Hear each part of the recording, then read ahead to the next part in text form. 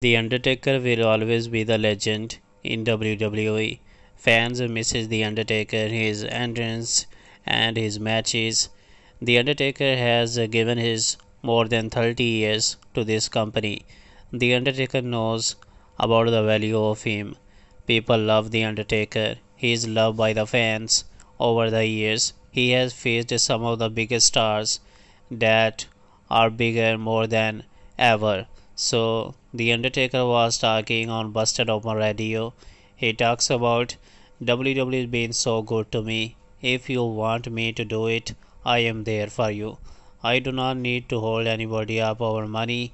So he think that it is not everything and he can do anytime whenever WWE needs him he will come there without any money